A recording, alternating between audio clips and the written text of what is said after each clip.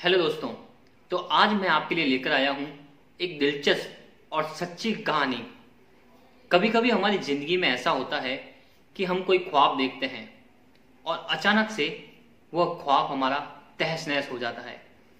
लेकिन फिर भी जीवन रुकता नहीं है और हमें ज़िंदगी में वापस नए सिरे से दूसरी शुरुआत करनी पड़ती है। ऐसी ही एक सच्ची कहानी है स्पेन के एक दस साल के लड़के की। जिसने ख्वाब देखा, स्पेन के सबसे बड़े फुटबॉलर बनने का। और जब उसने अपना यह ख्वाब जाकर अपने पेरेंट्स को बताया तो उसके इस ख्वाब को पूरा करने के लिए उसके माता पिता ने उसका पूरा सहयोग किया और उसे फुटबॉल की ट्रेनिंग दिलवाना शुरू कर दिया और उसे एक फुटबॉल के कोच के पास लेकर गए। फुटबॉल के कोच ने भी उस बच्चे की आँखों में एक जुनून देखा और उसे यह समझ आ गया कि यह बच्चा कोई साधारण बच्चा नहीं है।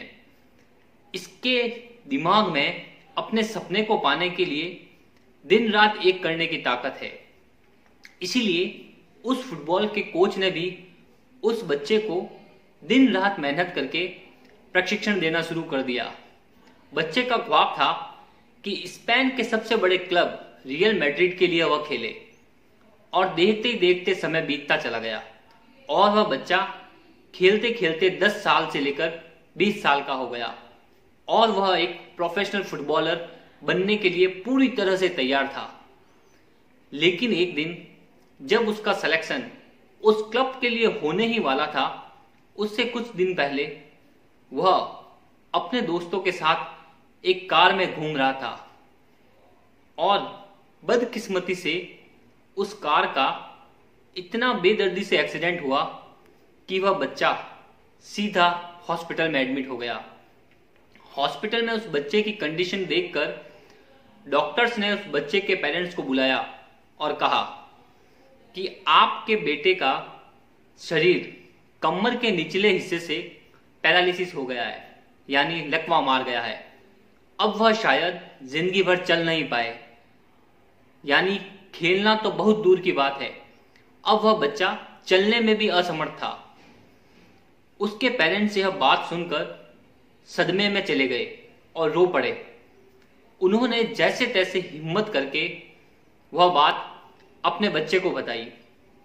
जब उस लड़के ने यह बात सुनी तो वह अंदर से पूरी तरह से टूट चुका था, क्योंकि वह सपना जो वह पिछले दस सालों से अपने दिलो दिमाग में पाल कर बैठा था और जिसके लिए उसने दिन रात तक मेहनत की, वह कुछ ही पलों में बिखर कर तहस नहस हो गया था। लेकिन उस डॉक्टर ने उस बच्चे को यह कहा कि आपको अभी अपने इलाज के लिए लगभग 15 से 18 महीने और हॉस्पिटल में रहना पड़ेगा। चाहे आपकी इच्छा हो या ना हो, लेकिन यह आपके जीवन के लिए ज़रूरी है। धीरे धीरे जैसे जैसे हॉस्पिटल में दिन बीतते चले गए उस बच्चे ने खुद को वापस फोकस करना शुरू किया और खुद का ध्यान इस जगह पर लगाया कि नहीं, मुझे यहाँ पर रुकना नहीं है। मेरा जीवन ऐसे खत्म नहीं हो सकता।